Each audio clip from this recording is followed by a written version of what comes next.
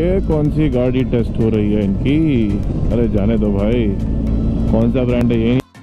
नमस्कार दोस्तों, Kshitij Dwivedi different videos channel के इस एपिसोड वीडियो में आपका बहुत बहुत स्वागत करता हूँ। मेरा नाम क्षितिज द्विवेदी है। मुंबईकर निखिल ने finally new generation Mahindra Scorpio को स्पाई कर लिया है और ये कोई ऐसा वैसा वेरिएंट नहीं। आई थिंक ये बेस वेरिएंट है बिकॉज़ इसमें कुछ चीज़ें हमें डिटेल पता चल रही हैं, जिसका ज़िक्र आज इस वीडियो में मैं आपसे करने वाला हूँ। तो वीडियो को देखते रहिएगा, लास्ट तक आज अपन बात करेंगे न्यू जनरेशन महिंद्रा स्कॉर्पियो के बेस वेरिएंट के बारे में।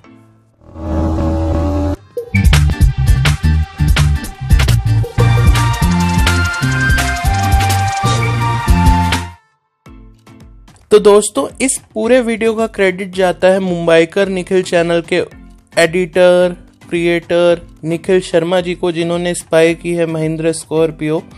और इसका ये बेस वेरिएंट है। चलिए। गाड़ी टेस्ट हो रही है इनकी। अरे जाने दो तो अभी अपन पीछे से पहले देख लेते हैं कि बेस वेरिएंट में आपको क्या क्या देखने के लिए मिलने वाला है।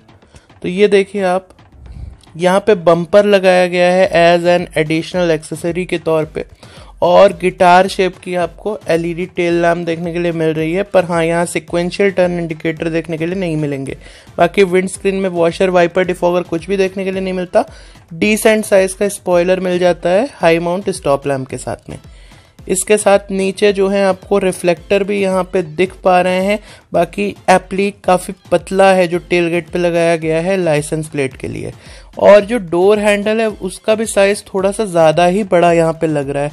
I think ultra wide angle से ये फ़ोटो ये जो वीडियो है शूट किया गया है जो गोप्रो रहता है उनका। अब चलते हैं साइड की तरफ़।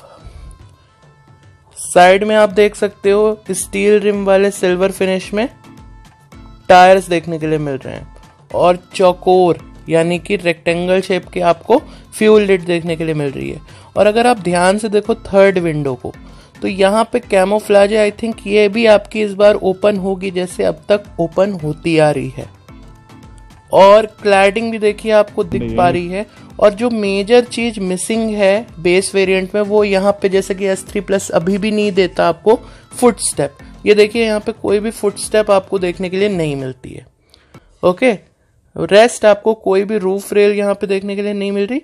और जो विंडो के साइजेस है, वो काफ़ी बड़े लग रहे हैं। और देखिए आप, ये जो सेकेंड रो की विंडो है, उसमें भी आपको ब्लैक आउट देखने के लिए मिल रहा है साइड में। है ना? तो ये कुछ डिटेल्स आई हैं। बाकी क्लैडिंग आप देख सकते हो। काफ़ी अच्छी लग रही है, काफ़ी स्पोर्टी लुक दे देगी गाड़ी को साइड से।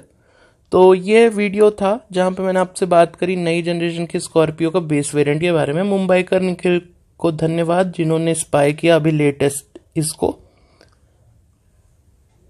तो चलिए वीडियो को अब करते हैं बंद। Thanks for watching me so patiently and bye